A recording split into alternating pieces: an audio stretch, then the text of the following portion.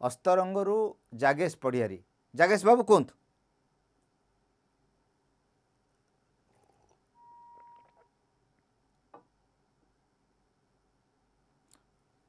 ବୋଧହୁଏ ଏ, ଫୋନ୍ ଯୋଗାଯୋଗ ହୋଇପାରୁନି। ପିଣ୍ଟୁ ବାବୁ ଭିଡ଼ିଓ କନଫରେନ୍ସିଂ ମାଧ୍ୟମରେ ଅଛନ୍ତି। ପିଣ୍ଟୁ ବାବୁ କୁହନ୍ତୁ।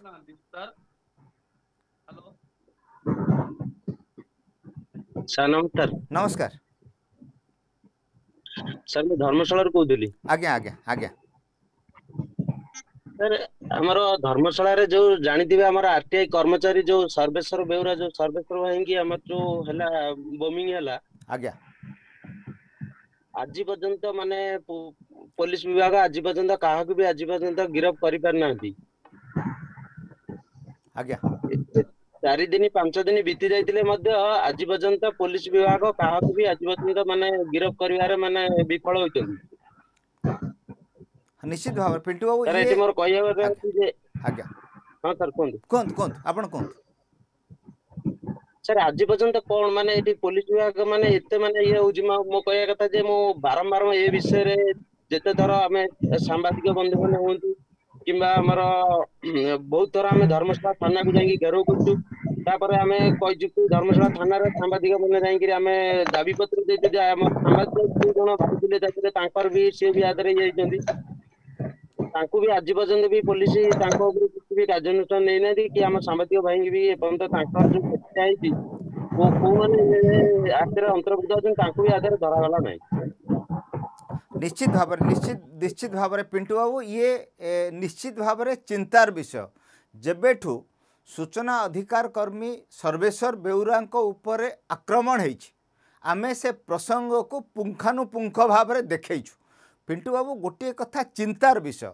ସର୍ବେଶ୍ୱର ବେଉରା ଜଣେ ସୂଚନା ଅଧିକାର କର୍ମୀ। ସିଏ ବିଭିନ୍ନ ଦୁର୍ନୀତି ପ୍ରସଙ୍ଗରେ ବିଭିନ୍ନ ସ୍ଥାନରେ ଅଭିଯୋଗ କରିଛନ୍ତି। ସିଏ ମାମୁଁ ଭଣଜା ଘାଇ ହଉ ବିଛାଖଣ୍ଡି ହଉ ଡଙ୍କାରୀ ହଉ ବା ସ୍ଥାନୀୟ ଅନ୍ୟାନ୍ୟ ଦୁର୍ନୀତି ପ୍ରସଙ୍ଗ ହଉ ତାକୁ ଲୋକାୟୁକ୍ତକୁ ଅଣାଯାଉ ତାକୁ ହାଇକୋର୍ଟକୁ ନିଆଯାଉ ବା ତାକୁ ସୁପ୍ରିମକୋର୍ଟରେ ଲଢ଼ାଯାଉ। ଗଣତନ୍ତ୍ରରେ ଯେଉଁ କଥା ସର୍ବେଶ୍ୱର ବାବୁ କରୁଥିଲେ ସେଇଟା ସବୁ ନାଗରିକଙ୍କର ଅଧିକାର। ଏ ଅଧିକାରକୁ କିଏ ଛଡ଼େଇ ନେଇପାରିବ ନାହିଁ। ଏ ଦେଶର ସମ୍ବିଧାନ ଏ ଦେଶର ଆଇନ ବ୍ୟବସ୍ଥା ଏ ଦେଶର ନାଗରିକଙ୍କୁ ଏ ଅଧିକାର ଦେଇଛନ୍ତି। ମାତ୍ର ଏଇଭଳିଆ ଜଣେ ସୂଚନା ଅଧିକାର କର୍ମୀଙ୍କୁ ତିନିଟି ବମ୍ ପକେଇକି ମରଣାନ୍ତକ ଆକ୍ରମଣ କରାଗଲା ଦୁର୍ବୃତ୍ତମାନେ ସର୍ବସାଧାରଣ ଜାଗାରେ ଆକ୍ରମଣ କଲେ ଆଉ ପଳେଇଲେ ପୋଲିସ ଧରି ପାରୁନି ନା ଧରୁନି ଆକୁ ନେଇକି ସନ୍ଦେହ ତିଆରି ହେବା ନିଶ୍ଚିତ ଭାବରେ ଉଚିତ କଥା। ଯଦି ଆମ ରାଜ୍ୟର କୌଣସି ନାଗରିକ ଉପରେ ମରଣାନ୍ତକ ଆକ୍ରମଣ ହେଉଛି ପୋଲିସର ଦାୟିତ୍ୱ ହେଉଛି କିଏ ଆକ୍ରମଣ କଲା ଆଉ ଆ ପଛରେ ଷଡ଼ଯନ୍ତ୍ରକାରୀ କିଏ ଅଛି କି? ହୁଏତ ଯିଏ ବମ୍ ପକାଇବାକୁ ଆସିଲା ସିଏ ଆତତାଇଟିଏ ହେଇଥାଇପାରେ। ସିଏ କିଛି ପଇସା ନେଇକି କାହାକୁ ମାରିବାର ଠିକା ନେଇଥାଇପାରେ। ତା ପଛରେ ଷଡ଼ଯନ୍ତ୍ରର ଦିଗ ବି ଥାଇପାରେ। ଏ ଯେଉଁ ସର୍ବେଶ୍ୱର ବାବୁ ଯଦି ଜିଲୋଟିନ୍ ଷ୍ଟିକ୍ ଯେଉଁଟା ବିସ୍ଫୋରଣରେ ବ୍ୟବହାର ହୁଏ ମୁଖ୍ୟତଃ ଯାଜପୁର ଜିଲ୍ଲାର ଖଣି ଫଟେଇବା ପାଇଁ ବ୍ୟବହାର ହୁଏ ହୁଏତ ଏଇଭଳିଆ ବିସ୍ଫୋରକ ର ବୁଦ୍ଧଲିଙ୍ଗ ରମ୍ଭାପୁର ଘାଇ ଯାହାକୁ ମାମୁଁ ଭଣଜା ଭାଇର ନାଁ ଖୋଦ୍ ସର୍ବେଶ୍ୱର ବାବୁ ଦେଇଥିଲେ ତାକୁ ଭାଙ୍ଗି ଦେଇକି ଲୋକମାନଙ୍କୁ ଦୁର୍ଦ୍ଦଶାରେ ଠେଲିଦେବା ଏଇଭଳିଆ କାମ କରିଥିବା ଲୋକମାନଙ୍କୁ ଯେତେବେଳେ ସେ ପର୍ଦ୍ଦାଫାଶ କରୁଥିଲେ ସେମାନଙ୍କର ସର୍ବେଶ୍ୱର ବାବୁଙ୍କ ବିରୁଦ୍ଧରେ କ୍ରୋଧ ତିଆରି ହେବା ଇଏ ମଧ୍ୟ ଏକ କାରଣ ହେଇଥାଇପାରେ ଯେଉଁଥିପାଇଁ ଯେଉଁ ଯେଉଁମାନେ ଡଙ୍କାରୀ ପାହାଡ଼ ହେଉ ବିଛାଖଣ୍ଡି ହେଉ ଯାଜପୁର ଜିଲ୍ଲାର ଏଣ୍ଟାୟାର ମାଇନର ମିନେରାଲକୁ ଲୁଟ୍ କରିବା ହେଉ ସରକାରୀ ଯୋଜନାକୁ ହଡ଼ପ କରିବା ହେଉ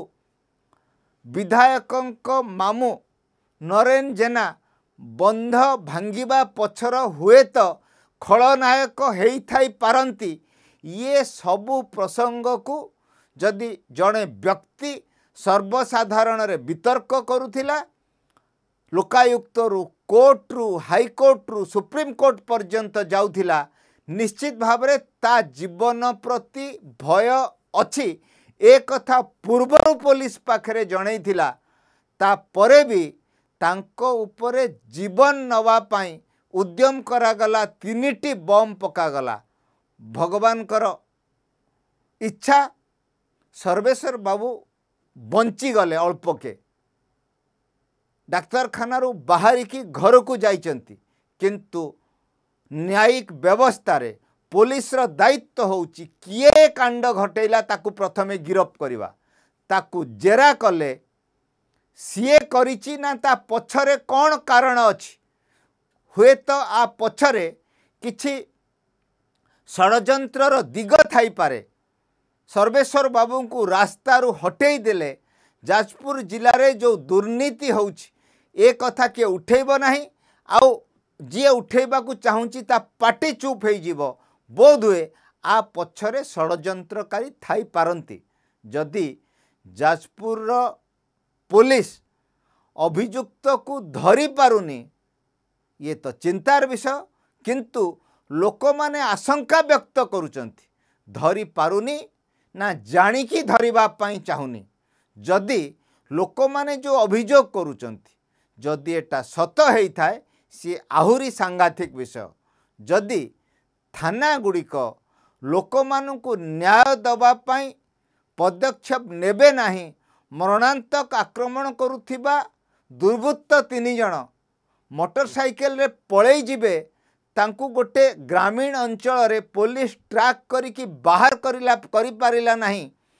ତାଙ୍କୁ ପ୍ରତ୍ୟକ୍ଷଦର୍ଶୀ କେଉଁ ରାସ୍ତାରେ ଗଲେ ତାର ପ୍ରତ୍ୟକ୍ଷଦର୍ଶୀ ବାହାର କରିପାରିଲା ନାହିଁ। ଇଏ ନିଶ୍ଚିତ ଭାବରେ ଚିନ୍ତାର ବିଷୟ। ଆଉ ଏ ପ୍ରସଙ୍ଗ ଉପରେ ଆମେ ସବୁବେଳେ ନଜର ରଖିଛୁ। ଆଗାମୀ ଦିନରେ ମଧ୍ୟ ନଜର ରଖିଛୁ। ଖାଲି ସର୍ବେଶ୍ୱର ବେଉରାଙ୍କର ଆକ୍ରମଣ ପ୍ରସଙ୍ଗ ନୁହେଁ ହୁଏତ ତାଙ୍କ ଉପରେ ଆକ୍ରମଣ ମାମୁଁ ଭଣଜା ଘାଇର ଏକ୍ସପୋଜ ପାଇଁ ହେଇଥାଇପାରେ ଡଙ୍କାରୀ ପାହାଡ଼ର ଲୁଟ୍ ପାଇଁ ହେଇଥାଇପାରେ ବିଛାଖଣ୍ଡିରେ ମାଫିଆଙ୍କର ଉତ୍ପାତକୁ ବିରୋଧ କରିବା କାରଣରୁ ଏ ମାଫିଆମାନେ ଷଡ଼ଯନ୍ତ୍ର କରିଥାଇପାରନ୍ତି ଯାହା ଘରୁ ପ୍ରଚୁର ପରିମାଣରେ ବିସ୍ଫୋରକ ବାହାରିଲା। ସେଇ ବ୍ୟକ୍ତିମାନେ ସର୍ବେଶ୍ୱର ବାବୁଙ୍କୁ ରାସ୍ତାରୁ ହଟେଇ ଦେବା ପାଇଁ ବଡ଼ ଷଡ଼ଯନ୍ତ୍ର ମଧ୍ୟ କରିଦେ କରିଥାଇପାରନ୍ତି। ପୋଲିସ ତ ତଦନ୍ତ କରିକି ୟାକୁ ବାହାର କରିବା ଉଚିତ କିନ୍ତୁ ଗଣମାଧ୍ୟମ ଭାବରେ ଆମର ମଧ୍ୟ ଦାୟିତ୍ୱ ଅଛି। କେସ୍କୁ ଇନଭେଷ୍ଟିଗେଟ୍ କରିବା କେସ୍ର ବିଭିନ୍ନ ଦିଗକୁ ଲୋକମାନଙ୍କ ପାଖରେ ଉପସ୍ଥାପିତ କରି ତାକୁ ବିତର୍କିତ କରିବା ଏ ଦାୟିତ୍ୱକୁ ଆମେ ଭଲ ଭାବରେ ବୁଝିଛୁ। ଆପଣ ଆସିକି ଆମ ଫୋରମରେ ପ୍ରସଙ୍ଗ ଉଠେଇଲେ ଆମେ ଆଜି ପ୍ରତିଶ୍ରୁତି ଆଉ ଥରେ ଦେଉଛୁ। ଏ ପ୍ରସଙ୍ଗ ଏ ପ୍ରସଙ୍ଗ ସହିତ ଜଡ଼ିତ ଯେଉଁ ଯେଉଁ ବିଷୟ ରହିଲା ଇଏ ସବୁ ପ୍ରସଙ୍ଗକୁ ଆମେ ଆହୁରି ବଡ଼ କରିକି କେବଳ ସର୍ବେଶ୍ୱର ବାବୁଙ୍କୁ ନ୍ୟାୟ ନୁହେଁ ସର୍ବେଶ୍ୱର ବାବୁ ଯେଉଁଥିପାଇଁ ଲଢ଼େଇ କରୁଛନ୍ତି ସେ ପ୍ରସଙ୍ଗକୁ ଆହୁରି ବଡ଼ ପ୍ରସଙ୍ଗ କରିବା ପାଇଁ ନିଶ୍ଚିତ ଭାବରେ ଆମେ ଉଦ୍ୟମ ଜାରି ରଖିବୁ ଇଏ ଆମର ଗଣତନ୍ତ୍ରରେ ଗଣମାଧ୍ୟମର ଦାୟିତ୍ୱ ଏ ଦାୟିତ୍ୱକୁ ନିଶ୍ଚିତ ଭାବରେ ଆମେ ପାଳନ କରିବୁ